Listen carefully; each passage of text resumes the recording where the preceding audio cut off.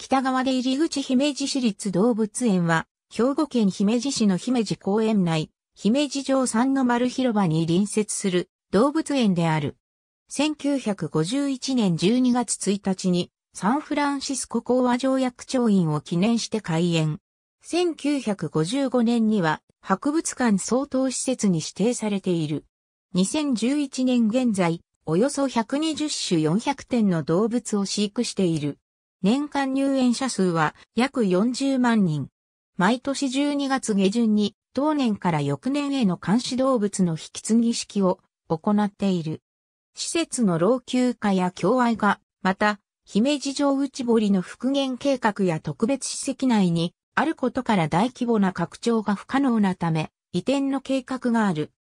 飼育動物の愛称は、姫路にちなんで、姫のつくものが多い。姫路市立動物園では2010年頃から白い綿毛状の物体、ケサランパサランを展示しているが、姫路市立動物園に展示されているものは、猛禽類が餌を消化しきれずに吐き出した羽の塊であることが分かっており、猛禽類の生態を知ってもらうための企画として展示されている。姫路お城祭り開催日やサポーター対象に夜間に入園できるナイトズーを開催している。ABCDE 観光交流。市政の概要平成27年版。姫路市。2015年9月26日閲覧。狭くて余裕がない様子。動物園のあり方に関する検討会について、移転前提に10年間は、現行通り、姫路市立動物園神戸新聞2010年6月18日9時15分、和歌山公園動物園、健在。